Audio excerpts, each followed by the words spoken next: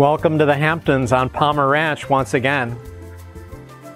And this uh, stunning uh, great room design home backs to a beautiful preserve with private pool and spa.